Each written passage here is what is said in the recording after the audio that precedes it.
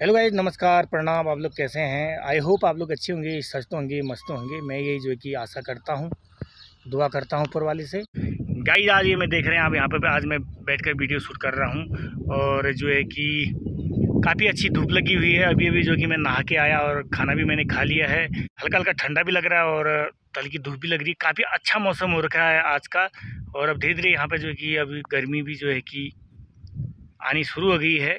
और आपको मैं दिखाता हूँ यहाँ पे अखरोट के पेड़ जो है कि आजकल पतझड़ का मौसम ख़त्म होके जो है कि नए नए जो है कि हमारे पहाड़ बोलते हैं पालुरी बोलते हैं और जैसे हिंदी में बोलते हैं कि नए नए जो और क्या है कि पत्ते आ रहे हैं पेड़ों में, वो मैं आपको दिखाता हूँ और काफ़ी अच्छा अब थोड़े दिन में यहाँ जो है कि सुंदर जो है कि वातावरण बनेगा, हरियाली दिखेगी।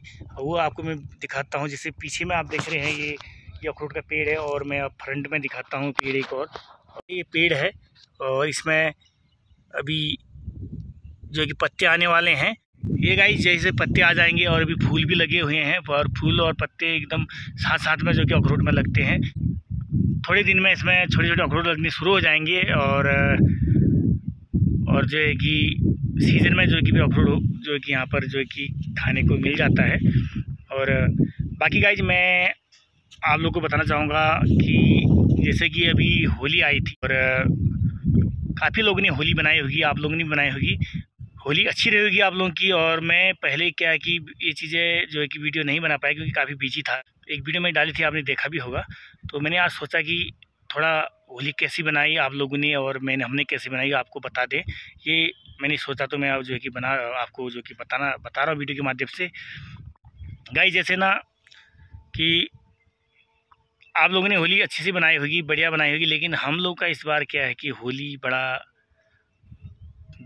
बनाना दुर्बल रहा और दुखी रहा, क्योंकि पहले मेरी दादी एक्सपायर होगी, और दादी को कम से कम डेढ़ दो महीना लगभग हो रहा है एक्सपायर होगी तो हम लोग इसीलिए जो कि होली नहीं बना पाए, क्योंकि हमारे यहाँ क्या होता है ना, पहाड़ों में, और कोई किसी की डेथ हो जाती है तो एक साल के बाद ही जो कि हम जैसे कोई भी त्यौहार बनाते हैं और जैसे शादी करते हैं, एक साल के बाद ही करते हैं और क्रियाक्रम करने के बाद एक साल तक रखते हैं, उसके बाद बरसकी बोलते हैं बारसकी पूरे गाँव वालों को खिलाना पड़ता है खाना, उसके बाद ही जो कि हम अपने आगे जो त्यौहार हैं, शादियाँ हैं, हम बनाते हैं।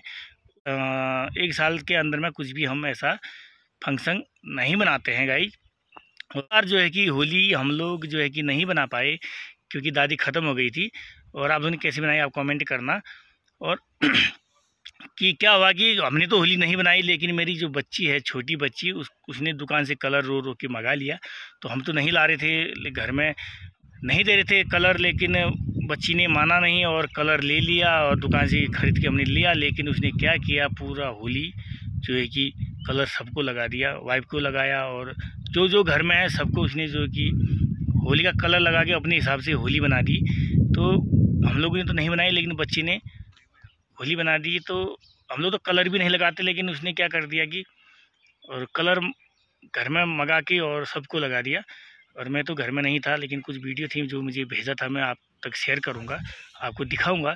और आप लोगों ने कैसी बनाई होली, आप लोग जो कि कमेंट करके गाइज़ बताइएगा।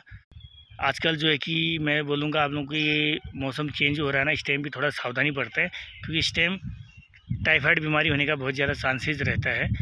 क्योंकि ठंडा गर्म लगता है, हम हम लोग क्या करते हैं कि कभी कपड़े उतार देते हैं, कभी गर्मी लगता है तो नहा लेते हैं।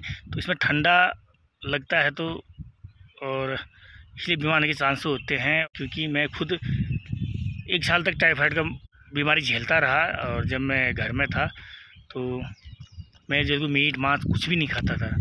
तो इसलिए आपको बोल रहा हूँ कि ये भी मौसम चेंज हो रहा है, आप जो है कि बचिए मौसम से, और बाकी गाइज़ में जो है कि आपको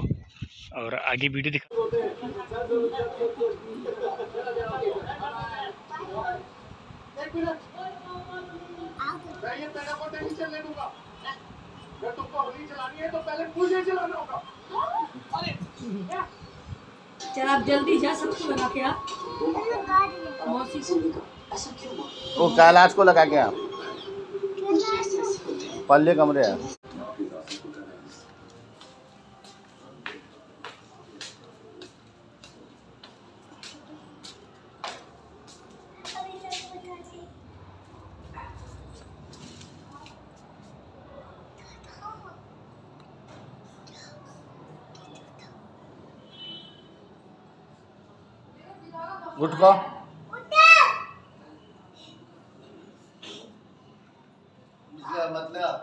टीका लगा। रही है लगा। टीका लगा ले। लगा ले टीका।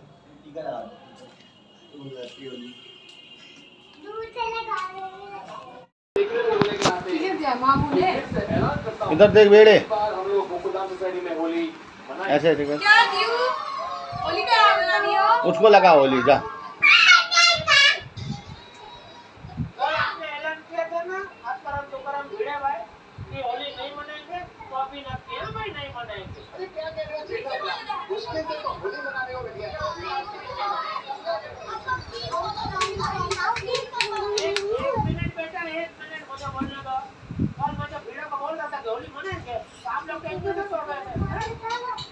आपको तो बाहर गाँव जाने का था ना होली में ये भाई क्या हुआ और सोडी हैं पूरा सन मना लिया होली मनाने का आप लोग गाइज़ और ज़्यादा सपोर्ट करें और मेरी वीडियो को।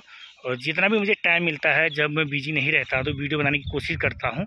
और बाकी मैं घर में, जो कि जैसे हमारे यहाँ उत्तराखंड में नैनीताल और देहरादून और बाकी एरिया जो है कि ये अच्छे अच्छे जैसे केदारनाथ, बद्रीनाथ और अल्मोड़ा, चिड़ियाघर, कहीं भी मैं जाऊँगा घूमने के लिए, मैं आपको पक्का जो है कि दिखाऊँगा वीडियो के माध्यम से। मैं जब घर जाऊँगा, जब मुझे टाइम मिलेगा घर में घूमने का तो मैं अच्छे अच्छे जगह जाकर आप, आपको जो है कि वीडियो के माध्यम से दिखाने की कोशिश करूँगा। आप जो है कि ज़्यादा ज़्यादा मेरी बने रहें चैनल में बने रहें। जैसे इस बार तो मैं घर जाऊँगा तो आसपास की वीडियो शूट कर पाऊँगा, जैसे बरेली का झुमका मार्केट हो गया इधर उधर और जो बड़ी बड़ी मॉल हैं और वहाँ पर जो है कि बहुत सारी ऐसी जो भी और अपने एरिया की वीडियो होंगी, वही मैं आपको दिखाऊँगा। इसलिए आपको मैं बोलना चाहता हूँ वीडियो समाप्त करने से पहले कि अगर कोई लोग मेरी वीडियो को पहली बार देख रहे हों और नए हो चैनल में पहली बार चैनल में आए हों तो वीडियो को सब्सक्राइब करें, लाइक करें, शेयर करें और ज़्यादा सपोर्ट करें और जब आप वीडियो को सब्सक्राइब करते हैं तो उसको आल पे क्लिक करें। जो आल पे क्लिक करोगे तो कोई भी वीडियो अगर मैं अपलोड करूँगा यूट्यूब तो आप तक आसानी से उसका नोटिफिकेशन मिल जाएगा। और गाइज़ देखिए जो वीडियो मैंने दिखाया बच्चे का, आपको कैसा लगा? कैसे उसने होली बनाई है? तो आप भी कमेंट करिएगा, कैसा लगा आपको? और आप लोगों ने कैसे भी होली बनाई, फिर से मैं आपको बता बोलना चाहता हूँ कि आप लोग भी कमेंट करें बताइए, क्योंकि वीडियो के माध्यम से एक दूसरे का जो कि हम पता कर पाएँगे कि आप लोगों ने कैसा बनाया, कैसे आप लोग हैं। तो अब मैं गाइज़ अब जो है कि वीडियो लंबी नहीं बनाते हुए यहीं पे वीडियो समाप्त करता हूँ और उम्मीद करता हूँ कि आप लोग मुझे सपोर्ट करेंगे। अब मिलेंगे हम जल्दी नई वीडियो में। और तब तक के लिए और यहीं पे मैं अपने शब्द को विराम देता हूँ। जय हिंद, जय भारत, वंदे मातरम।